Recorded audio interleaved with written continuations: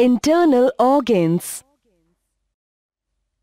Internal organs of the human body To survive and reproduce, the human body relies on major internal body organs to perform certain vital functions. When two or more organs along with their associated structures work together, they become component parts of a body system.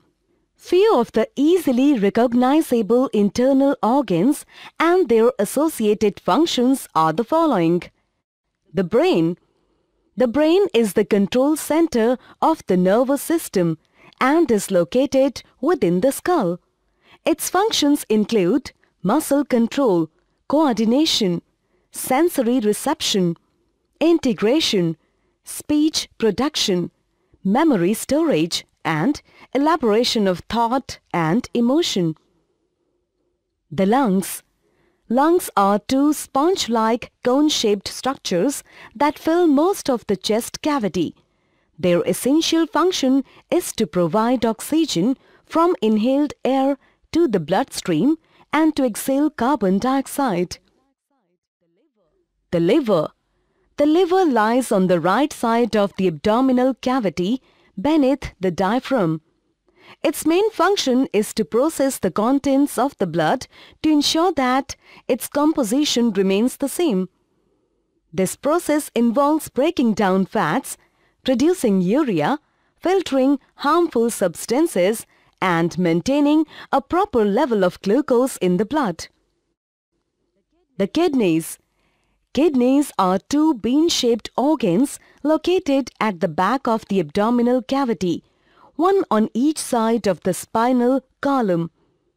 Their function is to maintain body's chemical balance by excreting waste products and excess fluid in the form of urine.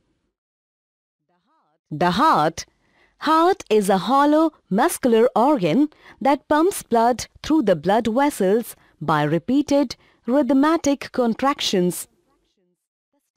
The stomach.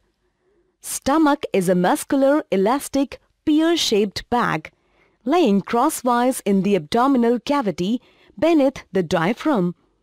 Its main purpose is digestion of food through production of gastric juices, breakdown, mix and churn the food into a thin liquid.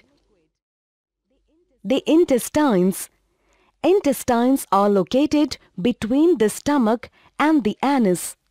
They are divided into two major sections, the small intestine and the large intestine. The function of the small intestine is to absorb most indigested food. The large intestine is responsible for absorption of water and excretion of solid waste material. All these are important internal organs of the body. In higher classes, you will learn more about them.